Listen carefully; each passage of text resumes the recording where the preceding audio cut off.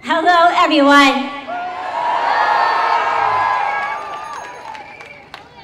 I am Karen Gaffney, and I'm very proud to be here today to, to stand up for life, for all lives,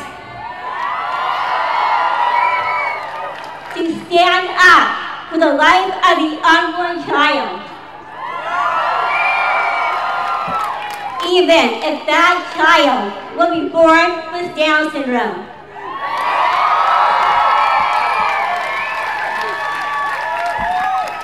I am from the U.S.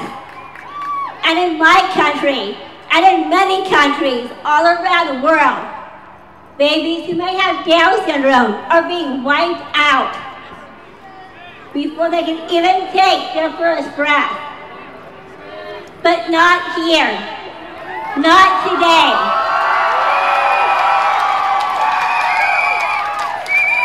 Not in your country not in Ireland.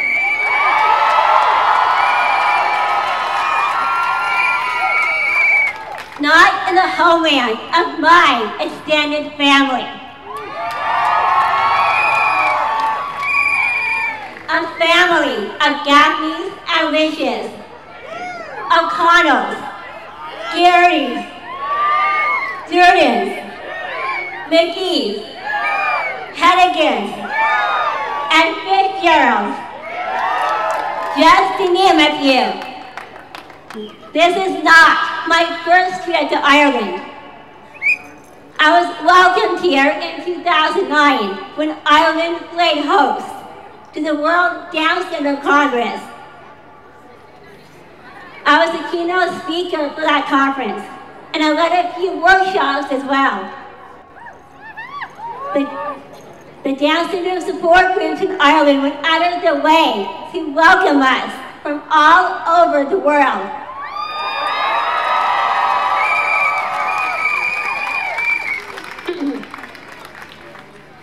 when the conference was over, I went for a little swim and I Dun Laoghaire Harbor.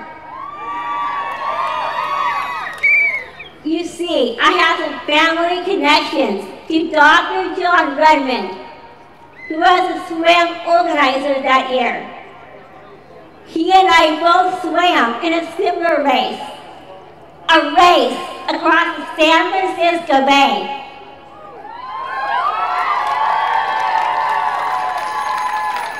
That was a longer race than Dun Laoghaire. And after some practice swims at 40 foot, he determined that I would qualify for the Dun Laoghaire Harbor Race. He looked past my Down syndrome and saw a swimmer.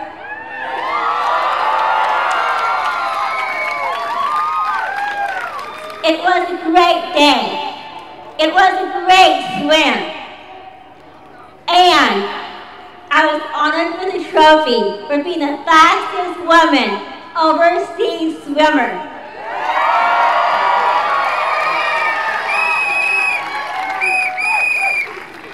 Now, I was the only woman overseas swimmer. But hey, a win is a win, right?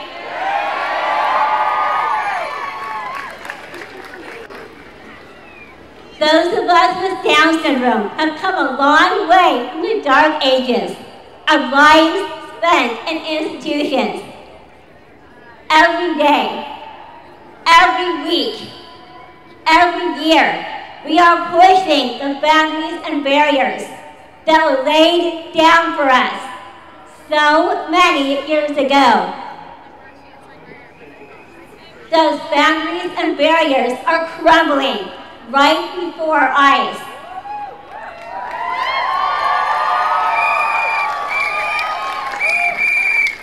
Just look around. You see young children with Down syndrome learning along with their peers in school.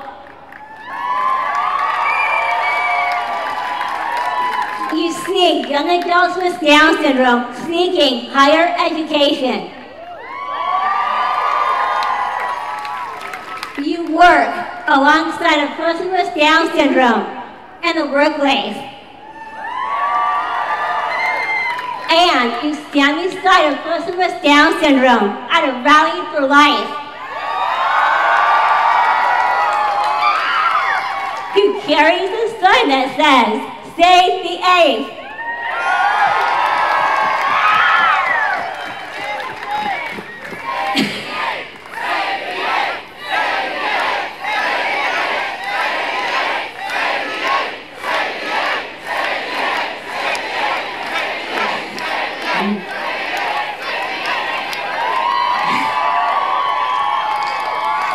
Those of us with Down syndrome and our families will keep pushing on those boundaries and barriers that get in the way. With your help and your support, we will live up to the promise of the life you have protected for us. And each time one of us makes it a little farther on the road to inclusion, in the schools, in the workplace, and in the community, we will turn around and reach back and make the road easier for those who are just starting out now.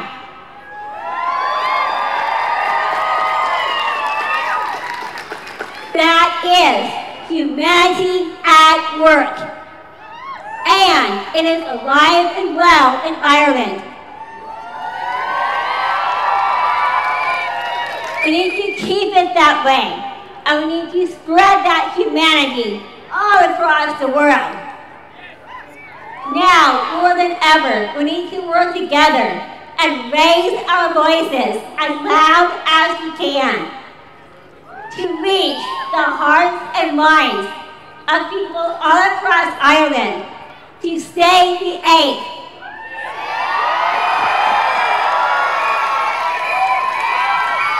To save lives. To save all lives. Thank you, Ireland, for having the courage to lead the way for the world. Thank you very much.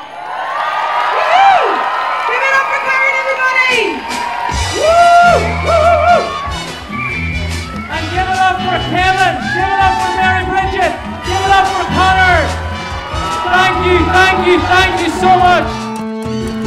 A big round of applause for that. Come on.